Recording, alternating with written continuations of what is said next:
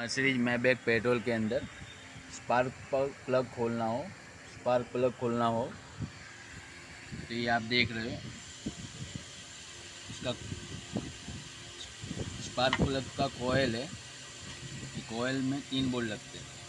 एक यहाँ पे एक यहाँ पे और एक यहाँ पे। ऐसे ऐसे चा, चारों चार कोयल आप देख रहे हो देखो ऐसे लगता है चार बोल्ट खोल ले तीन बोल्ट खोल लेना है चारों कोयल खोल लेनी है और ऐसे सीधा खींच ही लेना है।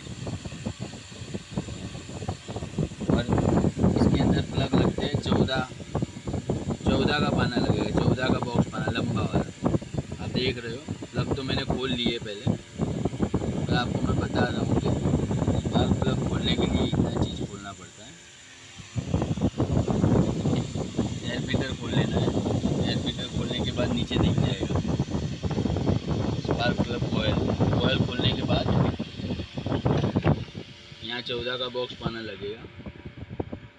चौदह का बॉक्स पाना लगा के स्पार्क प्लग खोल लेना है।